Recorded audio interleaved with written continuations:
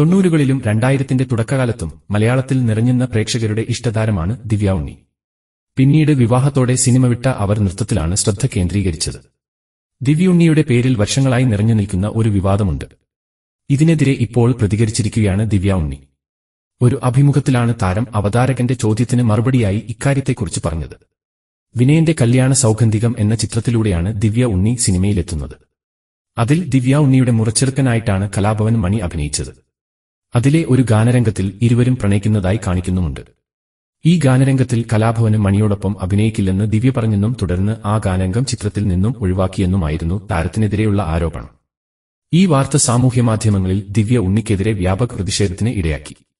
പലരും ദിവ്യുണ്ണിയെ കുറ്റപ്പെടുത്തിയാണ് എത്തിയത്. ഇപ്പോൾ ഈ സാഹചര്യത്തെക്കുറിച്ച് കഴിഞ്ഞ ഒരു ഇന്റർവ്യൂവിൽ അവതാരകൻ ചോദിച്ചപ്പോൾ ദിവ്യ അതിന് മറുപടിയുമായി എത്തിയിരിക്കുകയാണ്.